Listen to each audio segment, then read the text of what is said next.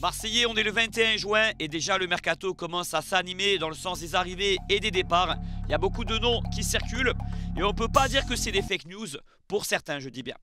Alors De Zerbi sera notre futur entraîneur, on le sait, c'est fait à 100%, que ce soit officiel ou pas, peu importe, il ne faut pas tomber dans une paranoïa non plus. Ça sera lui le prochain coach et Dieu sait qu'on en est tous contents. Il va être accompagné de 7 membres de son staff. Donc ça fait beaucoup hein, des gens qu'il a connus à Brighton ou à Sassuolo. On sait que De Rossi, que je présenterai un peu plus tard hein, dans une vidéo, sera le nouveau directeur sportif de l'OM. Donc ça va être un mercato avec quatre hommes importants qui vont devoir se mettre d'accord, trancher, donner des idées, se réunir. Longoria, Benassia, De Zerbi et Rossi. A noter que De Zerbi à Brighton n'avait pas les clés du mercato à 100%. Il a choisi quelques joueurs par-ci par-là, mais ce n'était pas lui seul. Comme certains coachs hein, dans certains clubs, je me rappelle de l'époque de Rudy Garcia, qui lui monopolisait le mercato. Donc ça va être un vrai travail en équipe, je pense. Ce qui est sûr, c'est que Brassier sera la première recrue de l'OM. Ça a été annoncé par Fabrizio Romano cet après-midi. Défenseur central de Brest, montant 9 millions d'euros et quelques millions de plus en bonus. Donc c'est un jeune défenseur central gaucher qui jouerait donc axe gauche, qui a connu une saison à Brest de très haut niveau. Alors ses qualités, c'est qu'il est très bon dans le jeu aérien, c'est un excellent relanceur et il connaît la Ligue 1. Après, bien sûr, ça demande confirmation dans un club comme l'OM, mais c'est un secteur déjà où on a déjà de la qualité, avec Balerji, Mbemba, Meite, bon, Gigot en quatrième homme, ça tenait la corde, mais justement, Gigot est sur le départ. Il est euh, libre dans un an, et donc ce serait le bon moment de le vendre, hein, même si ce n'est pas une grosse valeur marchande, on ne va pas se le cacher. Mais il nous a coûté pas mal de buts dans cette année 2024, où depuis le mois de janvier, il est méconnaissable. Et puis je pense qu'on peut aspirer à mieux. Meite est beaucoup plus euh, prometteur. Et puis euh, Brassier, en l'occurrence, hein, c'est un joueur au-dessus de Gigot. On perd pas au change. Même si, si on compare la vente d'un Gigot et l'arrivée de Brassier, ça va nous coûter quelques millions supplémentaires. Est-ce que ça annoncerait un départ de Mbemba qui lui aussi est libre dans un an? J'ai envie de vous dire oui, c'est fort possible. Par contre, ne vous faites pas avoir par une fake news qui est sortie hier. C'est pour ça que c'est bien que je fasse une vidéo mercato parce qu'il y a des choses à prendre et à laisser. Comme quoi, il a reçu une offre, euh, enfin l'OM a reçu une offre de 30 millions d'euros venant de l'Arabie Saoudite. Ça, c'est faux. C'est faux. La personne en question n'est pas crédible. Non. Mais il peut avoir des propositions. Parce qu'un joueur comme Mbemba qui serait sur la liste euh, des transferts, qui coûterait pas 30 millions d'euros. Hein, malheureusement pour nous, on va pas le vendre à ce prix, c'est pas possible. Ben, je serais à la place de beaucoup de clubs, ça m'intéresserait. Parce que d'un côté, ça me ferait mal au cœur. Hein. Bemba, c'est une valeur sûre. Mais c'est un secteur où l'OM a déjà de la qualité. L'OM a un œil très avisé sur le petit Belloumi. Vous savez, ce jeune joueur algérien qui a joué dans le championnat portugais hein, l'an passé dans un club de milieu de tableau à, à Farence. Alors euh, déjà, c'est le fils d'une légende du foot. Hein. Belloumi euh, en Algérie, Lagdar Belloumi, c'est un des trois plus grands joueurs de l'histoire, avec Madjer et Marez. Vous demandez à des Algériens, c'est ces trois noms qui ressortent. Pour les plus anciens qui ont connu la Coupe du Monde 82, c'est le Zidane de l'Algérie, quoi, tout simplement. Et donc son fils, euh, qui est jeune, hein, il doit avoir 22 ans, ça a été le meilleur jeune du championnat portugais la saison passée le meilleur joueur tout court euh, du mois d'avril du championnat. Donc c'est un pur ailier droit. Ses qualités, grosse frappe de balle, c'est un dribbleur, un feu follet. C'est quelqu'un par contre qui n'a pas fait de formation, qui n'est pas passé par un centre de formation. Donc il a peut-être quelques lacunes euh, dans le placement, dans le jeu sans ballon, etc. Donc c'est un jeune de talent, honnêtement, qui m'intéresse. Après, le facteur mental, bien sûr, sera à prendre en compte, mais il ne va pas arriver comme un titulaire en puissance. Hein. Si ça se concrétise, bien sûr, et ça coûte pas cher, entre 3 et 4 millions d'euros, grosso modo. Benfica est dessus également, donc c'est pas pour rien. Ça prouve que c'est un jeune pétri de qualité. Et évidemment, euh, ça fait euh, depuis le départ de Under hein, qu'on n'a pas de, de gaucher comme ça, surtout qui jouerait faux pied. Et c'est un secteur où l'OM a connu des difficultés l'an passé avec les performances de Sarr euh, et d'autres joueurs. Hein. Luis Enrique, bon, c'est pas un joueur qui a beaucoup d'avenir, qui, a fait ce qu'il a pu, hein, bien sûr, c'est un joueur combatif. Mais un Belloumi, s'il réussit chez nous, on pourra le vendre à l'avenir dix fois plus cher. Et puis encore une fois, c'est une bonne opportunité de marcher, bien sûr. Alors, on annonce que c'est un choix de Benassia. Je le présenterai plus en détail, bien sûr, quand ça sera officiel. Mais les médias qui euh, l'annoncent, la Provence, Foot Mercato, avec le fameux Sanchi. Et il y avait même un média portugais à la base, euh, Record Portugal. Donc euh, voilà, là aussi, hein, c'est pas une fake news. Après, le joueur préférait l'OM apparemment.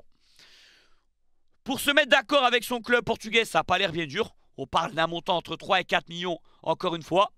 Mais quand on regarde un petit peu les highlights, alors vous allez me dire, ouais, mais n'importe qui peut passer par un crack. C'est vrai, c'est les temps forts, c'est les meilleurs moments. Sauf qu'à ce compte-là, on réagit plus à rien et il n'y a plus d'analyse. Grosse frappe de balle, encore une fois. Et c'est un joueur très intelligent dans les 20 derniers mètres. Qui a le choix juste, qui prend la bonne décision, même s'il y a des lacunes, notamment tactiques. Parce qu'il est tout jeune, il n'est pas passé par un centre de formation. L'OM est intéressé aussi par le milieu de terrain africain, nigérian, NDD. Alors lui, grosse expérience en Angleterre. Il a joué euh, presque 300 matchs en Première Ligue. Aussi avec sa sélection, euh, plus de 60 matchs. 27 ans. Milieu de terrain très athlétique, très physique. Un box-to-box. C'est intéressant parce qu'il est libre. Mais il y a une grosse concurrence. Lyon et des clubs euh, espagnols, voire italiens. Donc le salaire serait important, vu qu'il est libre.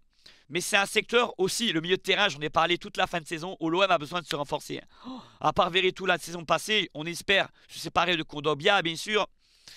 Euh, Rongier sera de retour. Bon, malheureusement pour lui, hein, Sao ne sera pas le prochain coach, sinon ça aurait été le plus heureux. Et puis euh, Unahi, de Zerbi, peut-être contrat sur lui. À confirmer, mais c'est des rumeurs pour l'instant. On ne sait pas s'il a coché le nom du Marocain pour être dans l'effectif de l'OM, qui ne sera pas très élargi la saison prochaine. On ne joue pas de Coupe d'Europe, donc on a besoin de 16-17 joueurs dans le groupe et plus quelques jeunes du centre de formation. Mais pour venir un petit peu au petit Bellomi, c'est vrai que c'est un pari qui donne envie. C'est aussi le fils de un grand joueur du football euh, à l'époque, hein, dans les années 80. Et il va faire lever les foules.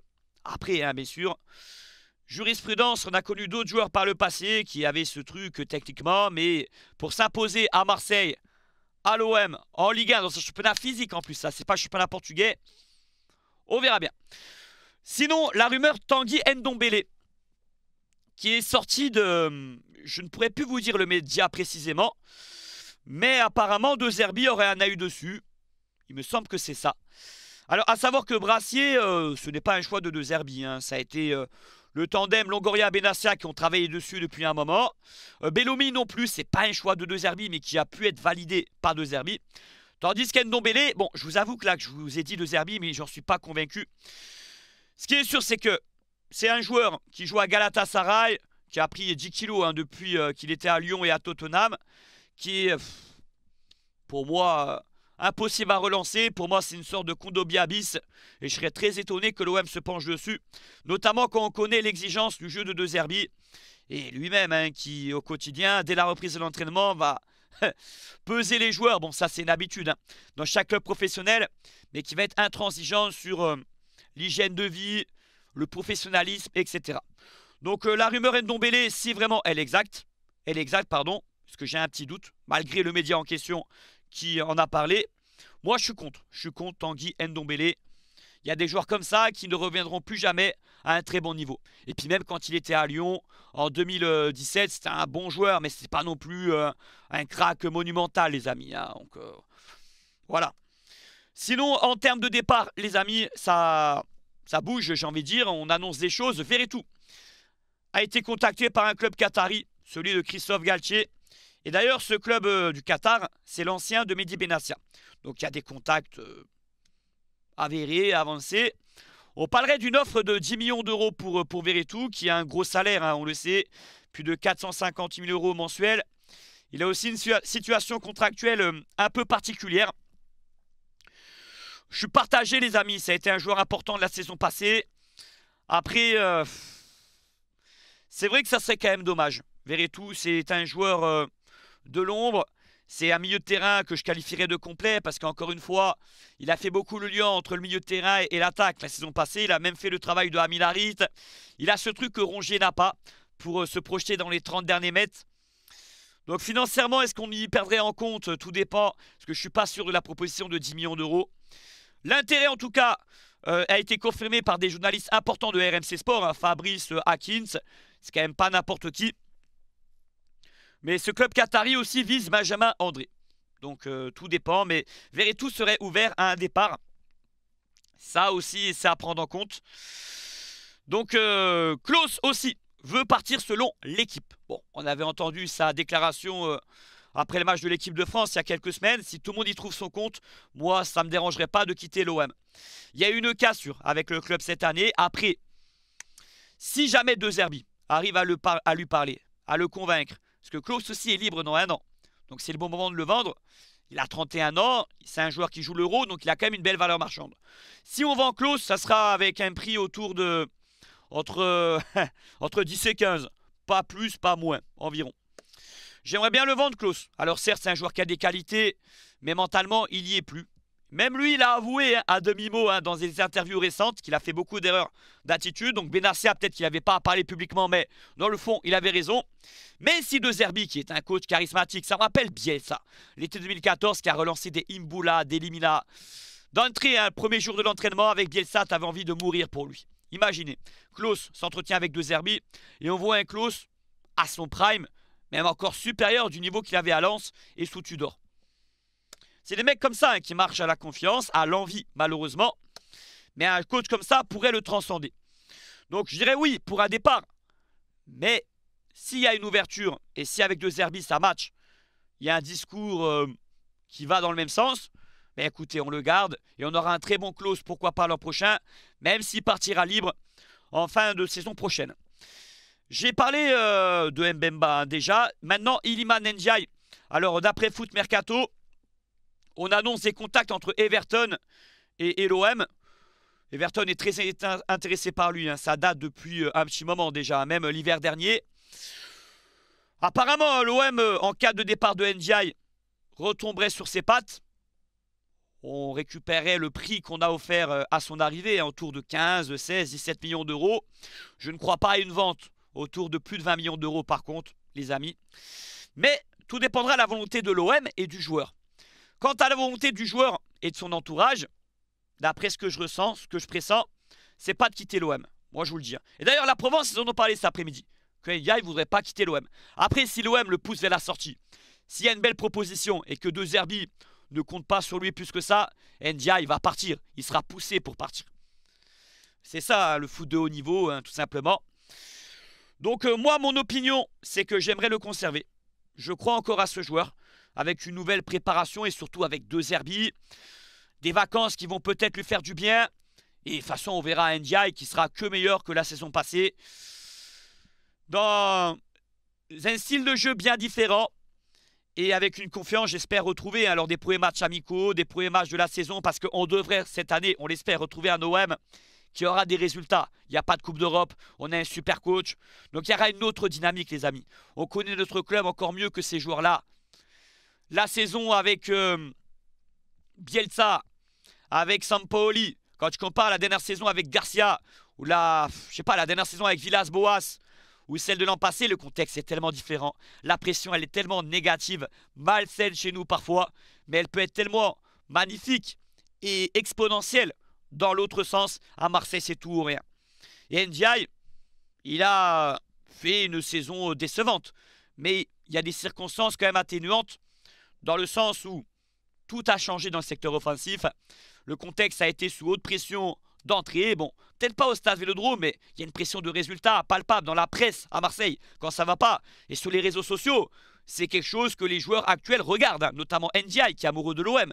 Les remarques des supporters, etc. Ça a pu l'impacter, le toucher. Bon, faut du mental hein, pour jouer au niveau, je suis d'accord.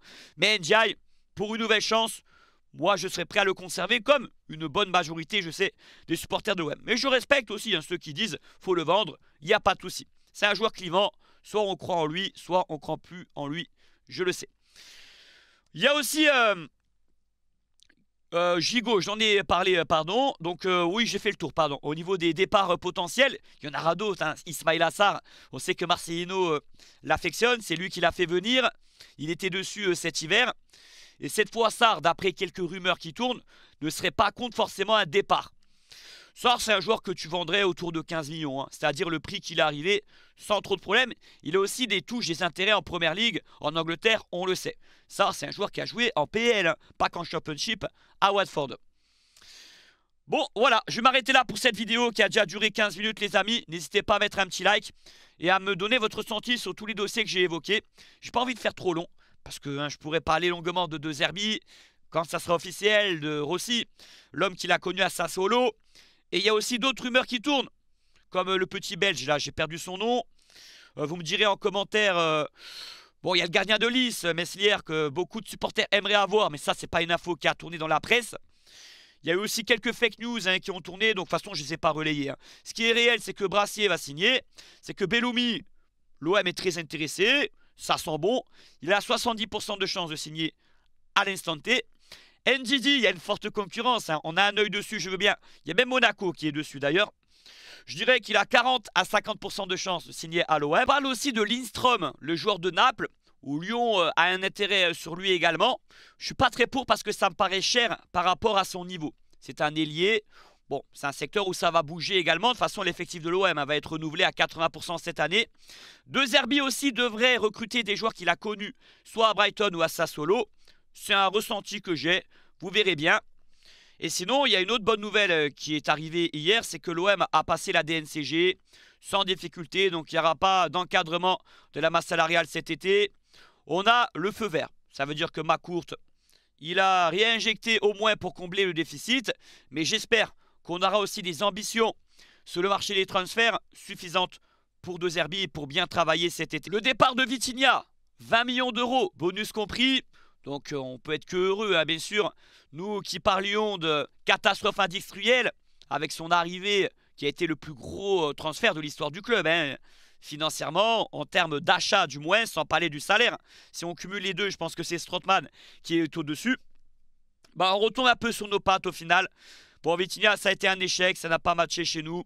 On lui souhaite bonne chance, mais c'est vrai que c'est une belle vente. Luis Enrique, pisté par la Juventus, j'ai du mal à y croire honnêtement. Et encore plus quand je vois le montant qui filtre, 15 millions d'euros. Alors si on le vend à peine 10 millions d'euros, je serais le plus heureux déjà. Et je crois que ça serait une plus-value hein, par rapport à son prix d'achat l'été 2020. Euh, à voir, mais Enrique doit partir et il ne correspond pas du tout au style jeu de De Zerbi.